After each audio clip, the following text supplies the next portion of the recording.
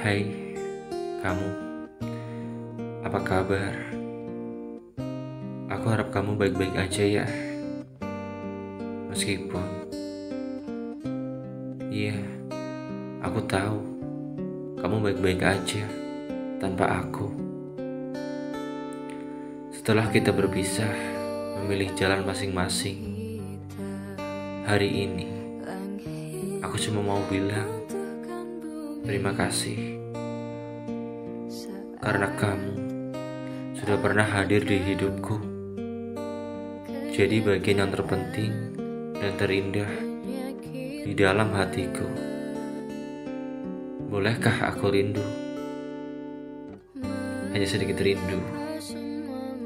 Saat ini, insya Allah aku benar-benar sadar dan ikhlas melepaskanmu, merelakan kepergianmu.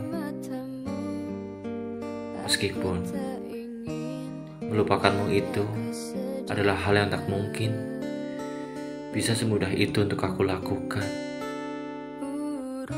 Biarkan semua kenangan manis tentangmu dan kita akan kusimpan di lubuk hatiku yang paling dalam. Kubiarkan kisah indah kita abadi selamanya di hatiku. Kini aku sudah tak lagi mengharapkan akan kembalinya dirimu. Karena itu hal yang tak mungkin. Aku tahu akan hal itu. Aku sudah berhenti. Aku tak akan memaksa dan memohon kembalimu lagi di dalam doaku. Aku tak akan menangisimu lagi, walau aku tak yakin.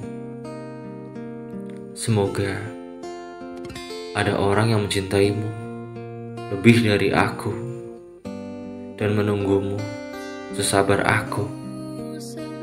Kita selesai di saat aku sama sekali tak menginginkan hubungan kita berakhir.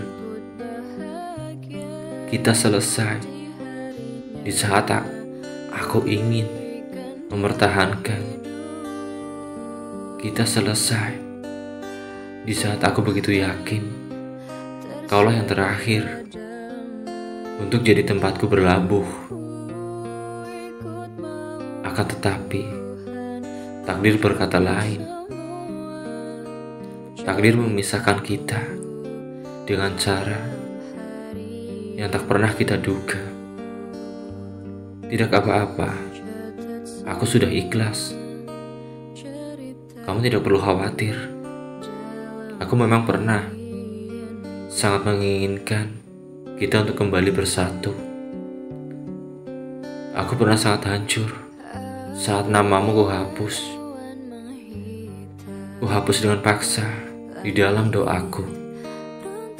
Aku pernah sangat hancur saat meminta kepada Tuhan agar menghapus segala tentangmu.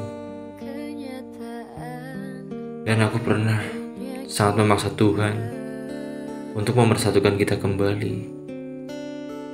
Ya, tapi itu dulu. Sekarang aku paham.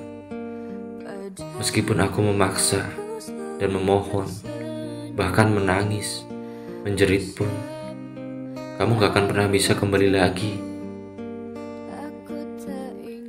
Yang pergi, tetap pergi. Aku harap kamu jangan pernah lupain aku ya. Aku harap aku akan selalu ada di hatimu. Satu yang harus kau tahu, rasa cintaku untukmu takkan hilang dan takkan pernah berubah sampai kapan pun. Terima kasih telah menjadi sumber kebahagiaanku dan menjadi kisah terindah di dalam hidupku, meskipun hanya sekejap.